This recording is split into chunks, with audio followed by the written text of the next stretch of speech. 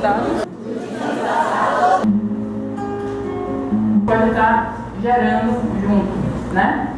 Então, é... Se a gente fica ruim, se a gente começar a levantar o peito, a gente falou de ponto, a gente está colocando de pontinho, mas se a parte fazem todo sendo par. Eu acho importante essa realização desse fórum, em virtude de que a gente já vem fazendo um movimento de visitar essas associações ao longo da, a, na cidade. O que a gente percebeu é que essas, essas organizações elas têm objetivos diferenciados, mas desafios iguais.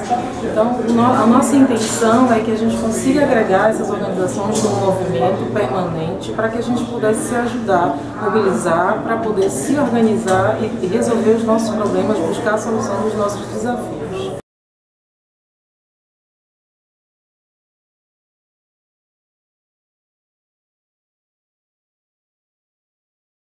Então a gente agora precisa pensar nas organizações sociais, porque as organizações sociais pensam nas pessoas o tempo todo. Cada organização social trabalha com 100, 200, 500, 300, 400 pessoas, mil pessoas aqui desse município. Então agora a gente tem que pensar na gestão das organizações sociais, nós temos que nos unir. A sustentabilidade da instituição, a gente vê que muitas organizações, embora tenham sonhos lindos, é, elas não conseguem se sustentar, porque ela precisa de financiador, ela precisa de recursos, e acaba sendo um trabalho muito voluntário e a gente precisa também se sustentar. É, a gente não vive, a gente precisa de recursos para viver e acaba que a sustentação da, da instituição sofre com isso.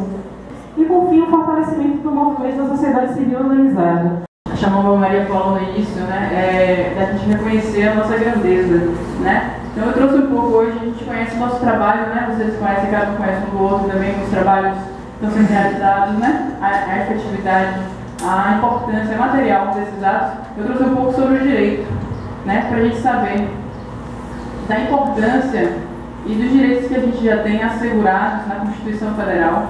Quando eu fui convidada para participar desse, desse fórum, é, a minha mente assim viajou. Eu fiz assim umas duas ou três vezes essa apresentação. Só que quando eu cheguei aqui foi tudo tão diferente que mudei tudo. Mudei tudo porque foi uma alegria para mim verificar que tantas pessoas estão assim preocupadas realmente com os problemas sociais e estão é, pedindo socorro, porque na realidade nós estamos pedindo socorro.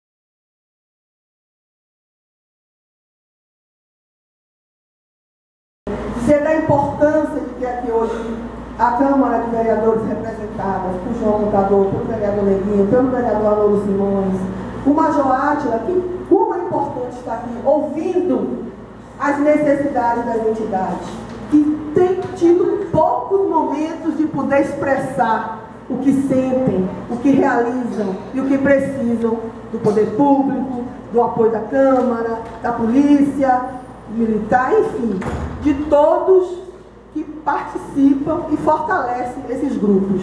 Quem é que vai construir as políticas públicas de uma sociedade que precisa do seu futuro amanhã? Quem é que está debatendo sobre as crianças? O jovem, ele precisa debater, ele precisa construir. Primeiramente, né, a organização social, porque para o poder público estar tá lá, a gente depende de quê? A gente precisa arregaçar as mangas né? E chamar essas comunidades para a gente conversar, para a gente compartilhar e a gente vai perceber também nesse caminho que muitas das nossas dificuldades, né, muitos dos nossos problemas, eles são iguais. Então, se a gente se juntar e é, essa massa mais forte, maior, a gente vai poder ter muito mais, é, muito mais força para a gente juntos estar resolvendo. Me baseio assim, só o trabalho nos dá o poder de sonhar e realizar.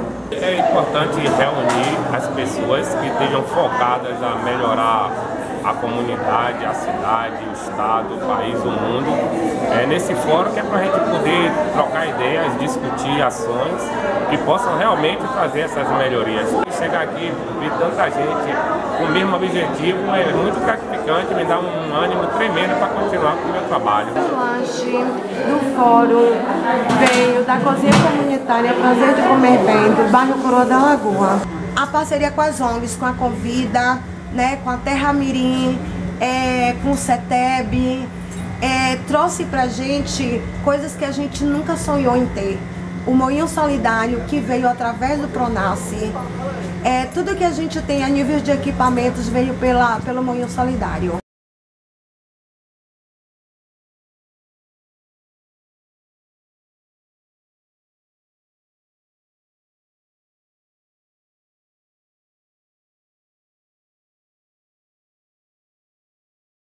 A vitalidade da nossa construção social é muito recente, para a gente não desanimar, né? Porque uma das coisas que eu queria, um dos princípios que eu queria transmitir para vocês aqui, nesse momento agora, de criação desse fórum, é o princípio da persistência. Né?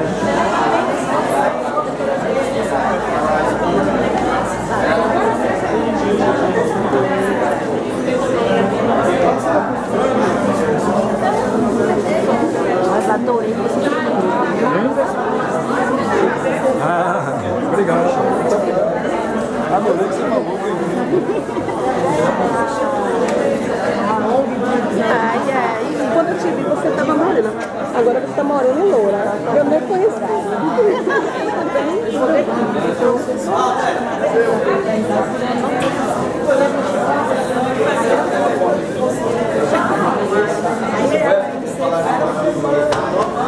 Ai, gente, vamos